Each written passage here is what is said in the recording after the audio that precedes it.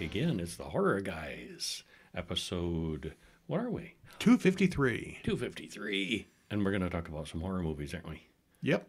All righty. And Who are you? I'm Kevin. I'm Brian. Oh, yeah, you're that horror guy. You're that horror guy. All right. Hey, we're the horror guys. We're the horror guys. wow. Keeping it classy. Yeah, forgot to introduce ourselves. All right. Well, we got a big, big week this week because we messed up last week. So you get extra stuff this week. Well, you do in the newsletter anyway. Yeah. Podcast will be about the same length as always. Yeah. What do we got? Oh, we got When Evil Lurks, a new movie. I like that new one. Argentinian Argentina film, and The Nun Two, another new one. Yeah. Hostel, an older one. Oh, yeah. Incident in a Ghostland. Mm-hmm. Yeah, pretty Okay. new. And those are the ones we're going to talk about today. We're going to have a short film in there too. If you're on the bo- bonus newsletter at horrorbulletin.com, which is free, once a week email, you're also going to read about It's Alive from 1974, The Killer, Baby, Killer Baby. which was supposed to be in last week's episode. Somebody forgot to include it. Somebody. Somebody. I'm not Uh-huh. going to say who. Yeah. it's also go- the newsletter also is going to have Cold Prey from 2006. What happens when a bunch of people go to a ski resort. somewhere in the Netherlands, ski resort abandoned and closed, and bad things happen. yeah, they do. And The Bad Seed, a classic child murderer story from 1956. No, nobody killed the child. It's the child is the murderer. well, that's a twist. Might have been the first time it was done. I don't know. It's considered a classic. It is. It's been remade about 13 times. Uh huh. And there's a stage version too. Of You course, can, you can see it on stage. Wow. Yeah. And people do that. Yeah, they do. yeah. Okay, and uh, just a reminder that the Horror Guy's Guide to the Films of Amicus Productions is available now. Amazon, Barnes and Noble, Barnes and Noble, Kobo, Scribd, Apple, and everywhere else you get books. And Somebody's working on a Karloff book. The Horror Guy's Guide to the Horror Films of Boris Karloff should be due out within the next week or two. depending on how fast horror guy Kevin gets his second proofing done on. It's off at the editor now. Yes. Hey, hello, Ed. Hello. And that should be out in a week or so. I think it's probably the best one of the bunch so far. I like it. As they go on, they get longer and more in depth and more detailed. Mm-hmm. Need to go back and redo those first ones again.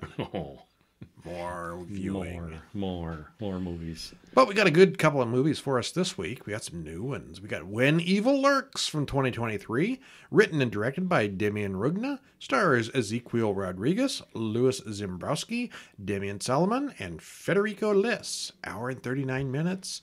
Yes, it's subtitled, but it's worth it. It's totally worth it. Spoiler free, no spoilers here. Once upon a time in Argentina, they ran into a little bit of trouble in a town and the rural area surrounding it. That's an an understatement. understatement, yes. and this is a very strange and gory movie. It's very well made, it's dark and creepy, and it's gross in all the right places and all the good ways. I think we both thought it was great. Yes, and it's almost like a, a alternate reality. Was you know the more I think about it, like you know because they all kind of accept this as real, and this is a thing that happens sometimes. Argentina, I don't know, superstitions and stuff down you know, there. Well, but they keep saying, "No, you know, it can't happen here. It might happen in the city." You know, but you know, the the way they made a couple references to like this is like, and and the way the Exorcist character had um, all that really intricate equipment. Yeah. Yeah. Okay. So I think it's kind of like, almost like a parallel reality, but it's very well done. Yeah. Yeah, sometime in December we'll come up with our top 10 list for the year, but I'm pretty sure this is going to be on it somewhere. Yep, I think so. Well, what happens? Don't spoil it to death for us, but give us a little hint where we're going. Well, Pedro and his brother Jimmy hear shooting out in the forest. They don't think it's a poacher because there's too many shots. They're not hunting, it's a revolver. You can tell by the sound. Well, as the sun comes up and the credits roll, the two go out to look around their land and the surrounding area. The dogs lead them to a man who's been torn in half. They find his lower half. It could be a puma. Mm, no, it It's wasn't a a puma. puma. No, and they also find parts of some kind of machine that's all bashed up. Well, they're on Ruiz's land now, so they go tell to him about the body. But Ru- Ruiz doesn't like them. I get the feeling he's a landlord or something. Yeah, yeah. Well, he's he's a big time farmer, and they're they're poor, poor people. So, instead, well, they go to see Maria Elena Gomez, where the dead man was heading.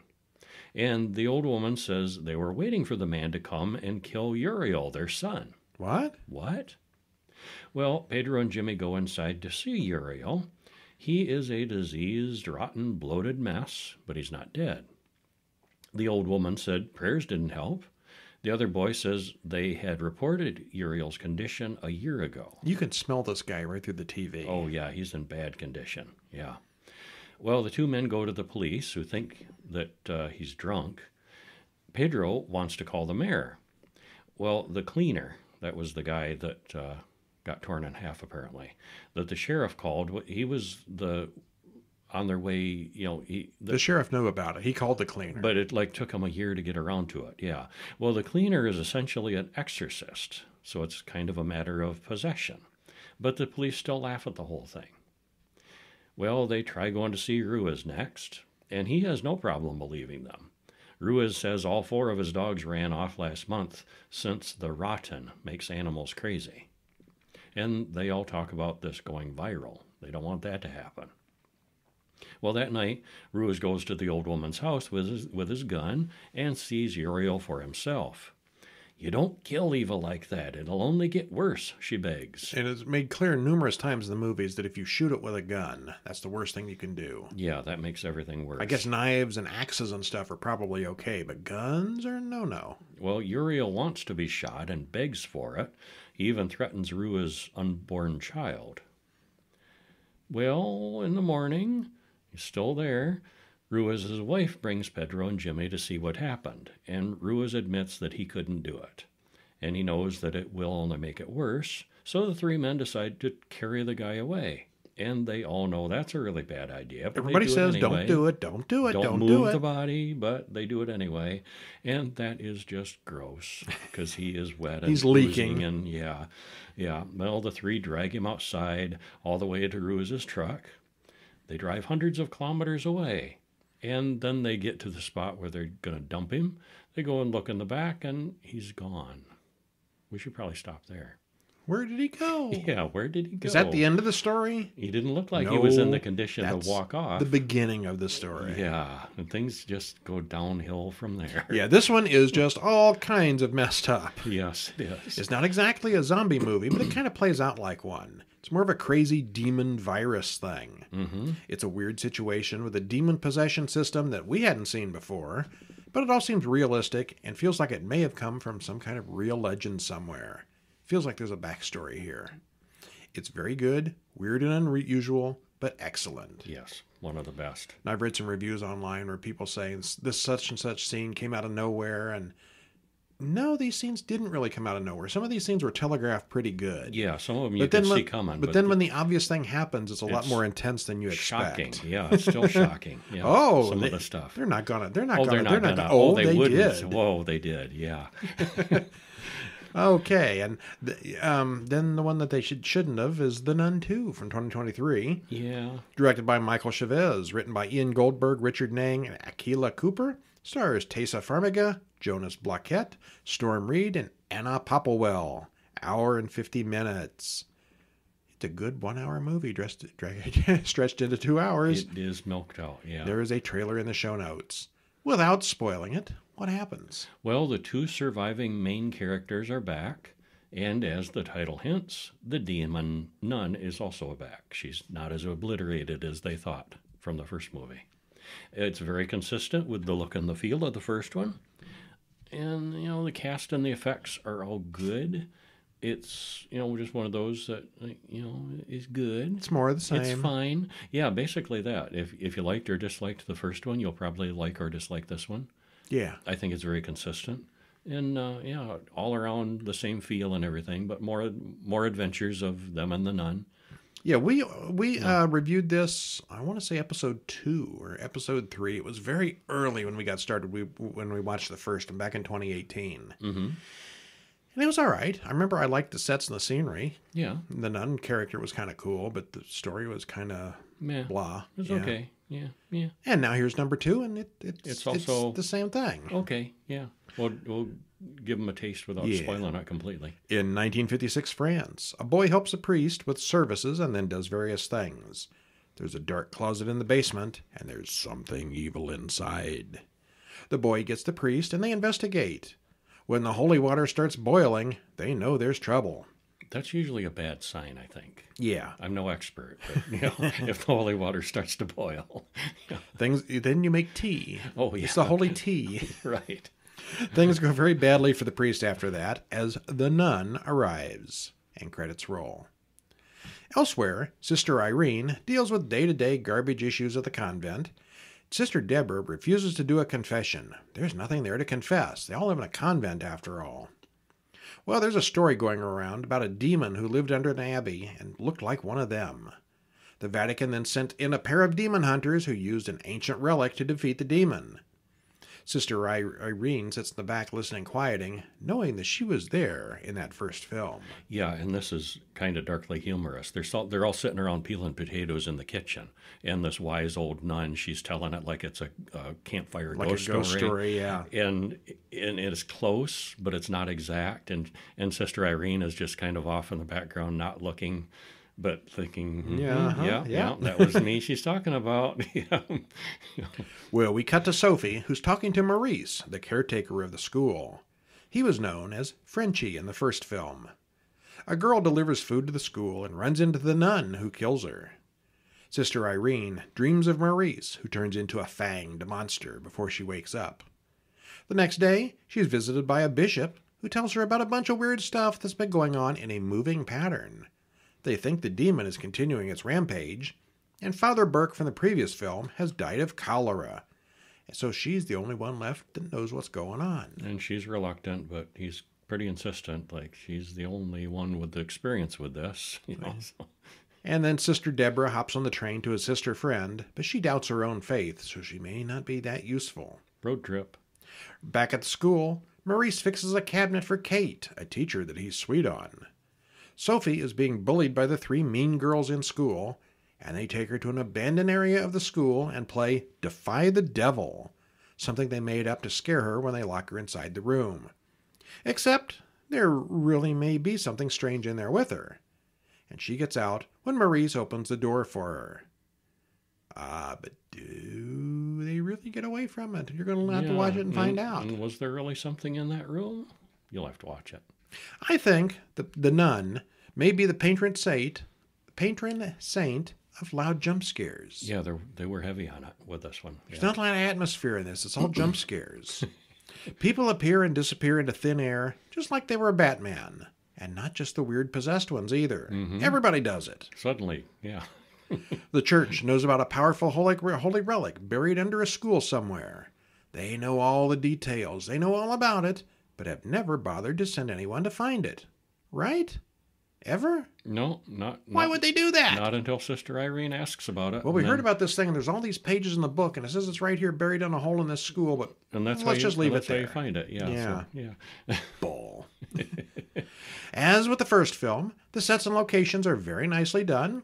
Valak and the other bad things are realistic looking, and it's all very creepy. Also, like the first film, there's really not much of an explanation for much of what goes on. It's just weirdness for the sake of weirdness. If you liked the first film, this is more of the same. If you didn't, then this is More of the same. more of the same. Yeah, it is. Mm, Good or bad, it is. of all the movies this year, this is one of them. It is. It's a movie. And then we got a short film called The Last Halloween, and this one's from way back in 20 2014. 2014. No telling what comes up in my YouTube past. feed. This was directed and written by Mark Russell and Mark Thibault. Is that how you say that? Thibodeau? Thibodeau. Thibodeau.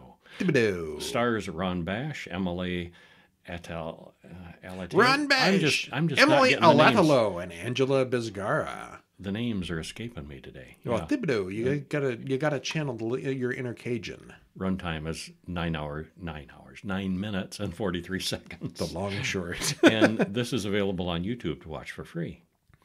it's trick or treat time once again, and the little ghost ghost boy gets a can of cat food at an old woman's house. And she's clearly creeped out. She's, Yeah. yeah, she's It's she, a weird house. yeah. She only op- she's she's got the the chain still on the door, and she kind of reaches through and Hands them cat food. yeah. you need to do that one of these days. Get the kids outside cat food. Mm, well, there's more to it than that. Well, then the four kids move on to the next place where a creepy old man gives the devil boy a dead bird. Well, that's weirder than the cat food. yeah, it is. Well, the next place looks like a prepper's military compound, and he tells them to leave. There's a woman named Kate inside who comes down the stairs. She looks sick. He tells her that they can't just open the door for just anyone anymore. They could be infected. What is going on here? What is? Yeah, Was Was- that Julian Richings? it was. Spoiler. It was. Yeah, he's got a role in this. I don't think he was even in the credits, but it, it, what you check IMDb, yeah, it's him. He's there, yeah. It starts out main, mundane enough, but it gets weird quickly as we see that this is not a normal place and a normal Halloween. Uh, it's really well writ, uh, lit and well shot, has good music, and it's not clear until the end what's really going on. And we're still not completely sure, but bad things. Bad things are happening, yeah. It was very cool. Yeah. Incident in a Ghostland from 2018.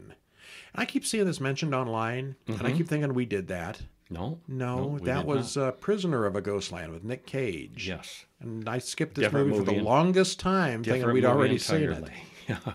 This one is written and directed by Pascal Laugier, stars Crystal Reed, Mylene Farmer, and Anastasia Phillips, hour and 31 minutes. What happens? What happened to our spoiler free judgment zone? I don't know. You didn't write one. Blame it on me. well, we're not going to spoil this one either completely. Eh, Despite the age, this is one that should not be spoiled. I'm making, Okay. I'm, I'm making that decision. Okay. Yeah. But we'll give you a little taste. Um, our judgment on it, We I, liked it. I really liked it. Yeah. It wasn't what I expected. You got to be paying attention. It's a little you confusing do at have to pay attention to it. Yeah. Well, Beth reads some H.P. Lovecraft to others in the car, except no, it's not. It's her writing. It just compares to Love- Lovecraft. And her younger sister Vera is not supportive. Why do you waste your time writing that crap? This is mom and two girls. And they are passed by an insane looking ice cream truck. We saw the ice cream truck driving up behind them. and I'm like, be eating you. Yeah. You know, from Jeepers Creepers. It's Uh-huh. the same kind of vibe. It's got that same vibe, yeah. Only And this it is a turns decked out out ice cream I was truck. right. Yeah, Okay. not not too far off. Yeah.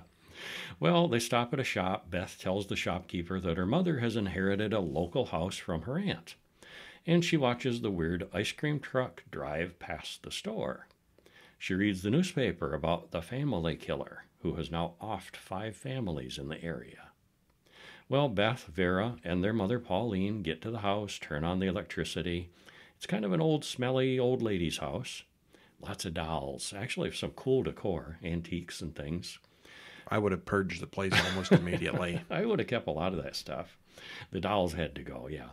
The girls soon get an ugly doll jump scare. One is one is rigged up like a, a amusement park uh, funhouse doll that springs out of the In wall. a closet behind a mirror, and you got to. There's like a secret door. You open the door, and this and thing it's jumps. spring out. loaded. Who does that? Yeah. Vera whines about how Beth is afraid of everything. Vera is convinced that Pauline loves Beth more, and none of them notice the ice cream truck parked out on the street. Well, a big bald man attacks Pauline out in the hallway since they all left the front door open. I know. Yeah, they all walked inside, and went right upstairs. Just leave the door standing wide open. Yeah. The big guy sniffs them both and then drags away Vera. Pauline attacks the strange woman and tells Beth to run away before the big guy comes back. Pauline then stabs the big guy about a hundred times. And then it jumps to years later. Beth is having nightmares about it. And she's married with a son now, doing great as a horror writer. And uh, she gets a call from home saying, her sister that she needs her to come back. And I'm going to leave off there. So return to the incident at Ghostland. Yeah. She goes back. Uh huh. She goes back home. All right. Well, it, this one's kind of all over the place. Starts out as a stalker slash home invasion story, then progresses into weird, boring, somewhat boring family drama. Then it goes into kind of a possession thing. And then it goes back full circle to the home invasion thing again, with a side order of kidnapping and brainwashing. He's got it all. It is. There's lots and lots of loud jump scares in this, so beware of that. It's a very surreal, atmospheric, and weird game of reality versus what's worse than reality. Very cool. It's one of those mind bender movies. Really well made. I thought I thought the script was really clever. And that takes us to Hostel 2005. Eli Roth's work. Yep, written and directed by him. Stars Jay Hernandez, Jerry, Derek Richardson, and Eythor Gudjonsson. Hour and 34 minutes. Spoiler free, what happens? The situation is realistic, except for the idea that so many people could keep that thing a secret. It's a hmm. big project and a big operation, and they keep it a complete secret. So, I mean, there's a lot of people in on it. So that's a lot of people that have to keep their mouths shut. And yeah, All the bad Yeah. people are in on it everywhere. Oh, yeah. Well, the acting and direction are very good. The effects are brutal and visceral. If you don't mind a lot of blood and pain in your horror movies, this one's for you. If you don't mind a lot of blood and pain. It's a torture movie. It's a torture movie. Yeah, there's a lot of that. Three friends, Paxton, Josh, and Ollie, leave a hotel in Amsterdam. They talk about museums, but they really just came to Europe to get high. They soon find out how easy that is. There's a fight at the club, and the three are soon thrown out. They go to a brothel next, and Josh is pretty uncomfortable with that, but he makes do. They do have a lot of fun, but they return to the hostel after curfew, and they can't get inside. Help, let us in. Well, they can't get in, so they stop at Alex's place, and he says he knows where to get the best girls. He has photos that he uses like a catalog. He has the best girls and some stories to go with them. The Slovak girls in that place go crazy for Americans, and he tells them exactly where to find the place. They are sold. The story is irresistible, and they all plan to go there. Well, they get on a train and talk to a Dutch businessman who knows the place that they're going. You can do anything to the girls there, he says. He's pretty creepy. The strange man then eats a meaty salad with his fingers, and it makes the whole makes a whole big thing out of being a hands-on meat eater.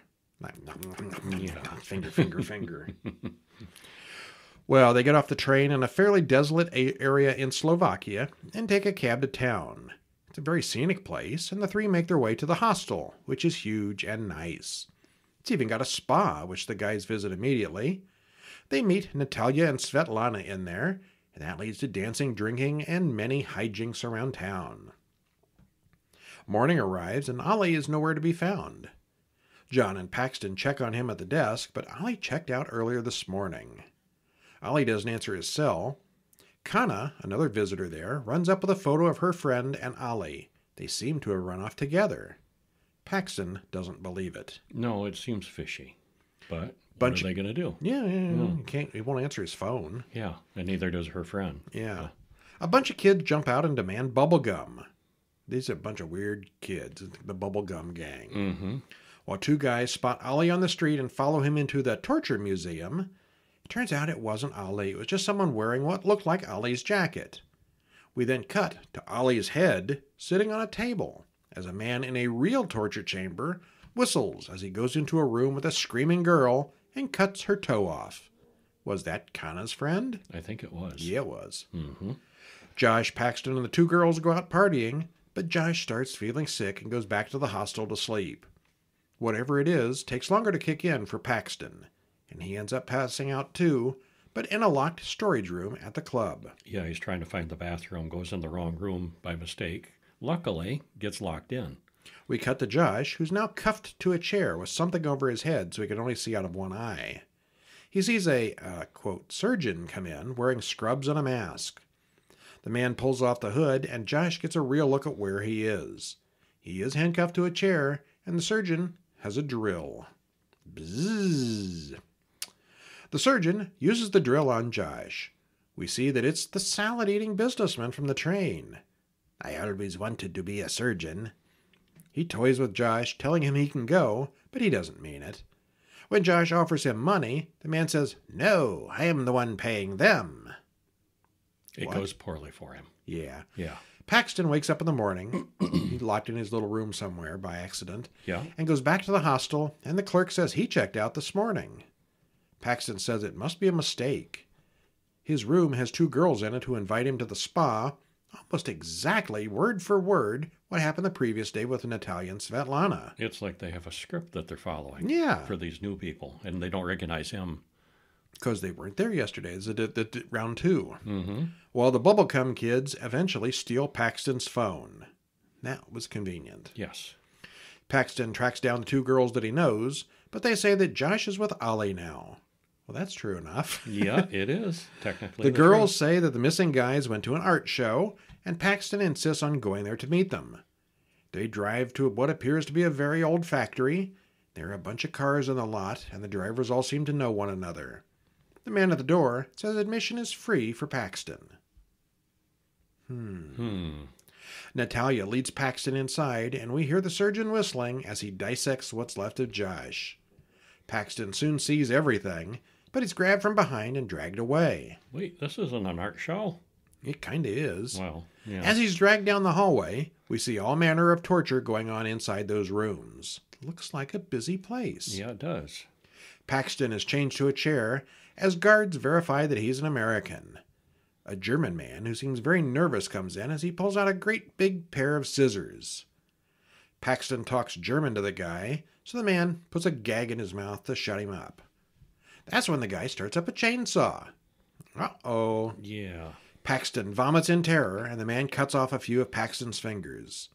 The man then slips in the puke and cuts his own leg off with the chainsaw.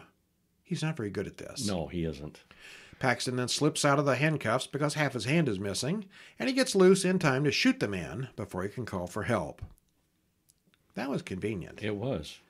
Paxton then shoots the guard and unlocks the rest of his cuffs. He opens another room and hides in a cart under a dead body. Someone grabs the cart and wheels it into an elevator. The man then takes the bodies to a uh, chop shop where they cut up all the pieces for disposal. No waste. You. Paxton knocks the man out and gets back into the elevator. He winds up in a dressing room where he steals clean clothes and gloves to hide his missing fingers. He finds a business card, Elite Hunting, with some pretty high prices written on the back. An American tourist comes in and wants to know what it's like. Paxton says it was good.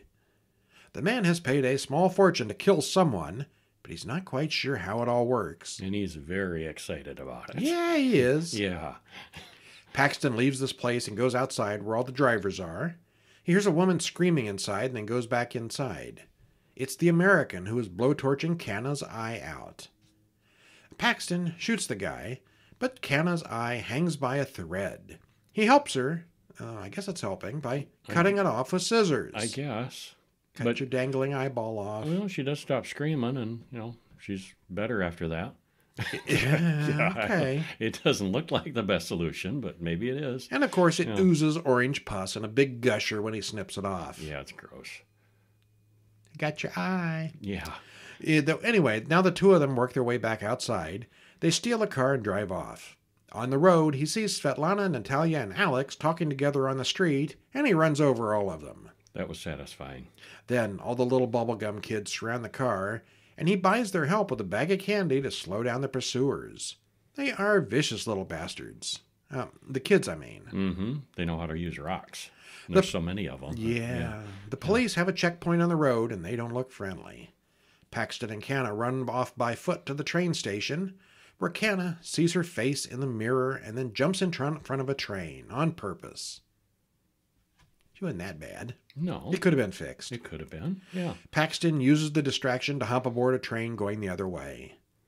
Paxton then overhears the Dutch businessman, the one who killed Josh, a few seats behind him, giving the same speech with the meat eating bu- business that he made to mm-hmm. his friends on the way into town. When this man gets off, Paxton follows him into the restroom and locks the door. Paxton then cuts off two of the man's fingers, almost drowns him in the toilet, and then cuts his throat. He then gets on another train before anyone finds the body. So he gets away. The end. Yeah. The end. Happily ever after, I guess. Well, yeah. Until the next movie. yeah. What happens then? Well. Well, we'll find coming. out in a week or two. Yeah. All the travel stuff in the beginning does seem very realistic and believable. Actually, that hostel looks like a pretty nice place to be. Really nice. It's all well shot and looks really good. All the acting is flawless from all the characters. Kevin pointed out that the only thing in the film that isn't believable is that so many people could keep this a secret. There's so many in on it. And that American business guy, I mean, he was just such a dink. And You know so- he's going to tell everybody. So over the top, he's not going to keep his mouth shut. I mean, you know, he didn't look like the kind that would. Walks into a room at work and is like, "Hey, anybody kill anybody this week over the weekend?" Yeah, I had- Ah, this guy did. I had an awesome time in Europe. All the bad guys dress identically, so they're easy to spot. It's like, let's get you some cartoon character uniforms. There's lots of gore and torture here, although some of it is just off screen. Still, if you're into this kind of film, it is a good one. It was really well made. Yeah. Yeah. Eli, Eli Roth does good work. Yeah. And here's a hint we watched the second and the third one too, but we'll save those for another time. Yeah, we'll talk about them another time. Over on the newsletter, horrorbulletin.com, where you can sign up for free to get six or seven sometimes mm-hmm. reviews in your email. We also, we did all those with spoilers, so you can read all that stuff. And also, It's Alive from 1974, a thoroughly creepy, well done family film that, That holds up even today. That was very good. Yeah, I was impressed by how good that still is. that yeah, they give birth to a baby who's like a killer mutant kind of thing. Mm-hmm. There's a remake that was not so good, but we, they, never mind. We should- Actually, the remake shouldn't speak of we re- Yeah. the remake is discussed in our Amicus book. Oh, okay. There you go. Then we also talked about Cold Prey, which follows a familiar formula. You know, a bunch of people isolated in this in the country, but it's well made. Yeah, it was a little formulaic, but well made. Yeah. If you, you can kind of know from the beginning who did it, Mm-hmm. but that's not really all that important in this one. no. It's a, it's a neat setting, of Norway or Sweden or somewhere. You remember? Norway. Norway, Norway okay. Mhm. Yeah. Yeah, they all talk funny. Yeah, they do. And 1956's The Bad Seed, a sinister classic that's beautifully made. It's also kind of a dated, stretched out slog, we thought. Because it is two hours and nine minutes long, and it feels it. It's a lot longer than it needed to be. yeah, I thought Yeah. so. Yeah. It's love it or hate it at the same time situation. Mm-hmm. It's all right. It's all right, You should yeah. see it. Classic. May- you may not love it, but you should see it. You should see it. Yeah. All right, well, that's it for this week. Next week, we will have four more movies and a short for you, or six more movies and a short if you're on the newsletter. What kind of things? Um, you, um, yeah, you got something creepy crawlies? You. What's that crawling on your hand there? Is that an ant? Oh my goodness, it's an ant. It's going to be Ant Week, isn't it? Somewhere on the website from 1950 something, we already did them. Much long. It's probably the most famous ant film of all time. We've already done that one. Science fiction horror with giant ants. Next week, we've got six other killer ant movies. Did you know they had made so many? We didn't. There's a lot more than the ones we've more, watched. More than the ones we've yeah, seen. we could, we could probably Yeah. do two or three of these weeks at some point. Yeah, actually, there are a lot of insects are scary.